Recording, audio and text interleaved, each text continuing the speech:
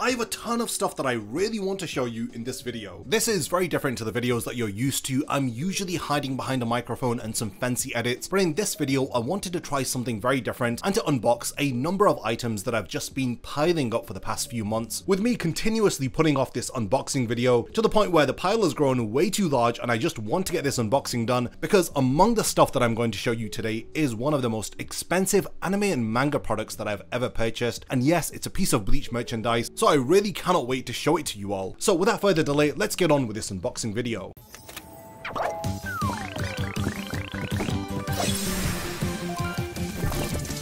Over the years that I've been purchasing anime and manga goods, I've bought several figures and they're usually these like PVC type figures. They're really high quality and I'm really particular with figures. I usually tend to only get figures of my favorite character in a specific pose that I really like. So it's going to come as no surprise that I have a lot of Goku figures, but since the last three to four years, I've been known as a Bleach guy, so it's only right that I have a Bleach figure in my collection. Now, all of the official figures of Bleach that are released by the various different companies like Bandai just don't really capture the quality that I'm looking for. I mean, Ichigo always has a very derpy face and they don't quite ever get his hair right. That is until I came across this thing called resin figures. Now, resin figures are a lot higher in quality. Because of this, they do come with a hefty price tag. But honestly, when I show you this figure, it's going to speak for itself. The quality of the figure is insane and in terms of the paintwork, it's unmatched and the sculpting is unreal. I'm so proud to say that I finally have a figure from Bleach that actually looks like it's been pulled straight out of the manga or the anime. Again, this is hard to say because look at the stuff that we've been getting for Bleach. Obviously, no offense to anyone who likes this stuff, it's personally just not for me. When it comes to figures, I have to really like the series as well as the character in order for me to purchase it. Resin figures are really expensive and they come in limited numbers and the one that I have here is one of 288 that were created. So here is the figure by Flyleaf Studio. I've been sitting on this box for a good year just putting off doing an unboxing video. I actually ordered this in October of 2022. It came a year ago and it's just been sat there collecting dust. Finally,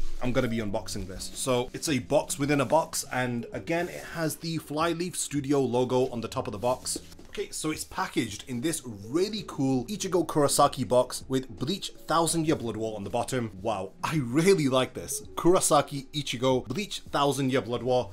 This looks really high quality. I bought this right before Cour 1 of the Thousand Year Blood War arc had started to air. I have the perfect spot for this figure that I want to put just over there. So if I make future on-camera videos, this, this figure is going to be in the background of all of them. So yeah, the box, I'm really impressed. It looks, yeah, it looks really cool. Now I've seen a lot of resin figure unboxing videos online and they come in a lot of pieces which are easy to break and they have fragile points which can crack and these items are airmailed out from Indonesia or Thailand, I'm not sure. So they are created in limited quantities. Like I said, this is one of 288. So it's packaged in this styrofoam. Mine has the number 223 written on it. Let's have a look at the first panel. Okay, so this is the base of the figure here. Ichigo's substitute Shinigami badge. You've got Ichigo's Zanpakuto belt here. So this is really cool. A little bonus item that comes with it. Yeah, so that's Ichigo Kurosaki with the uh, substitute Shinigami badge and it should have the number on the back there. It says 223 out of 288. You've got the stand for the figure here. It just looks so high quality, honestly. I don't even want to get it out of the box. It just looks that good. So there you go. That's the substitute Shinigami badge and the uh, footholds for where the figure is going to be standing on. Oh, wow. Okay. Have a look at the back of the stand there. That looks amazing. It has some sort of an authenticity sticker there as well. Uh, yeah, honestly, I'm so happy with this because uh, this form of Ichigo, the Fullbring Shikai form, is my favorite form of Ichigo, hence why my profile picture is modeled after the form. Then you've got Ichigo's Zanpakuto Zangetsu, the Fullbring Shikai Zanpakuto. Uh, it is really big and chunky, it looks amazing. That's the first kind of like styrofoam layer done. Okay, then we have the main stuff here. Yeah, it's all broken up into pieces you've got to put together. Let's start with the arms that you get. So you've got several arms that come with the figure. So there's this one here that is usually stationary, stays still. And then you've got two interchangeable arms. You can either have Ichigo holding it over his shoulder with this arm, or him cleanly holding the Zanpakuto with his arm down.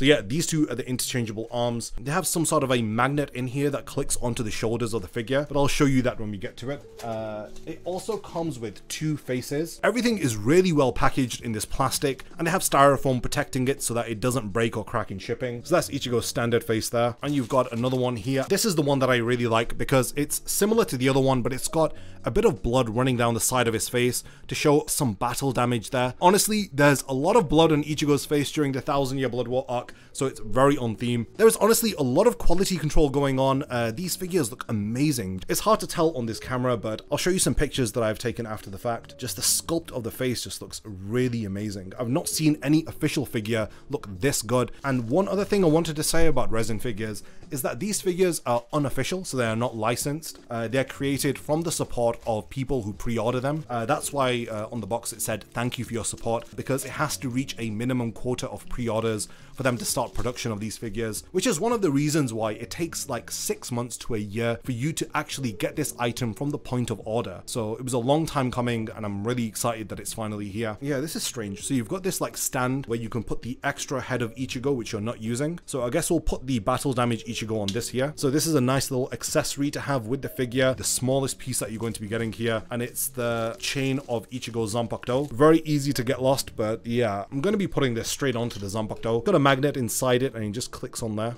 And there you have it, Ichigo's Fullbring Shikai Zanpakuto is ready. That looks really cool. I love the chain as well, how it's broken up there. And I think that's everything. Now we're on to the final piece. Uh, which is the body of Ichigo. I'm really nervous getting this out. Hopefully there are no pieces broken. Uh, let's have a look. So that's the legs, torso, and chest of Ichigo there. It all comes as one piece. And yeah, let's start assembling the pieces together. So you've got Ichigo's head and it just snaps on with a magnet. Space there for his arms. So let's put on the standard arm here.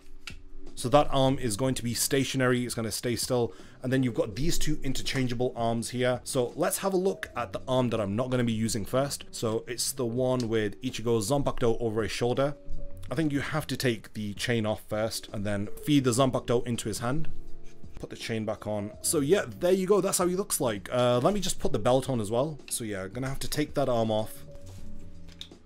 Wow, that looks amazing. Honestly, it looks so cool. Yeah, what do you guys think? Is this like worth the purchase? Uh, this resin figure, it was like anywhere from 250 to $300. There's no official figure that looks this good. I'll show you some pictures that I've taken following the recording of this video because the quality doesn't really look good on the camera that I'm recording this on. Let's get him onto the stand as well. It looks absolutely amazing. I'm so glad that I waited to get this. Better than what I had imagined. So just look at the attention to detail. From the substitute Shinigami badge stand, the detail on his socks and sandals, with the Fullbring markings and tattoos on his wrist and on his hand, and of course, just the sculpt and everything on his face looks phenomenal. I'm really happy with this. I'll show you how this looks with the other arm as well. That's the arm that I'm predominantly going to be using. I just like the pose more, and it's the pose that really made me want to get this figure. So there you go. This is the pose that I'm going to be keeping Ichigo in and it's going to be right there, right next to the Bleach Art Exhibition poster. Honestly, I'm so impressed with this. It just looks amazing. Let me know in the comments what you guys think of this Ichigo resin figure. So this figure is going to be there in all of my videos. With my channel being predominantly focused on Bleach, I wanted a statement piece or a statement figure in the background of my videos, and the perfect spot for it's right there behind me, and it's only right that my first on-camera video is unboxing this amazing resin statue. So next up, I've got a few more figures that I've just purchased, which I'm going to be unboxing. Now, these figures are very special to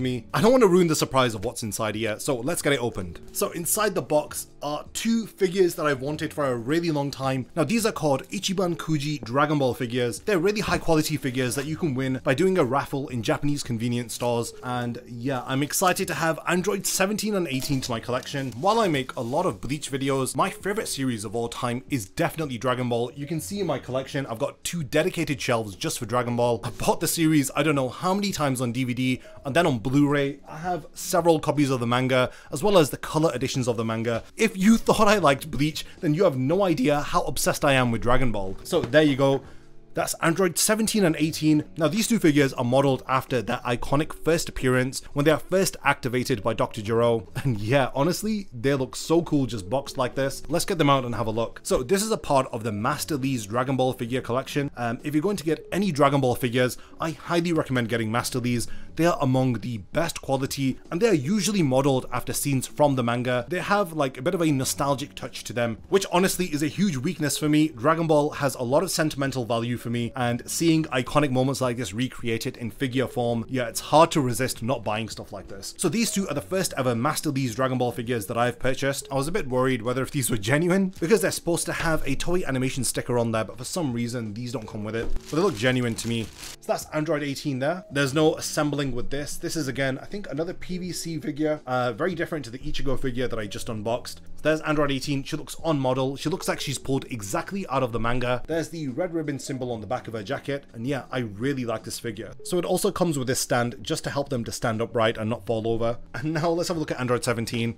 Yeah, my heart did kind of drop a little bit after not seeing the Toei animation sticker, but from the look of these figures, they are definitely official. Bootleg figures, you can tell. They have these really derpy faces and awkward proportions, and they look nothing like these figures here. These look absolutely amazing. Again, I'm really happy with this purchase. Android 17 and 18 have always had this really cool 90s aesthetic to them. I love Toriyama's character designs, everything from the point where Trunks arrives and defeats Mecha Frieza, all the way up until Gohan defeating Perfect Cell is probably my favorite piece of fiction that's ever been created, and it's definitely my favorite saga of Dragon Ball. The entirety of the Android and Cell saga portion of the story is just phenomenal. I'm really happy to have these two figures. And yeah, they're going to be going right next to Ichigo there behind me. So now we're moving on to some games that I've imported from Japan over the last few months. So we're starting off with this PlayStation 2 game called Battle Stadium D.O.N. Now this was the original jump crossover game on consoles. Uh, it features Dragon Ball, One Piece and Naruto. Uh, it's a Super Smash Bros. esque game, really fun to play. I just had to have a copy of this. And then we've got some Dragon Ball games that I bought for the PS2, but these are the Japanese versions of the games. I bought these exclusively for the box art covers because I love the artist who has drawn the covers for these. So the artist in question is a Japanese animator and character designer for Dragon Ball called Katsuyoshi Nakatsuru, and he draws some of the best Dragon Ball artwork in my opinion. He worked on the Dragon Ball Z anime as an animator and was then a character designer for a bit of Dragon Ball Z and even Dragon Ball GT. In the 2000s, he revamped his Dragon Ball art style to give it this shiny new look,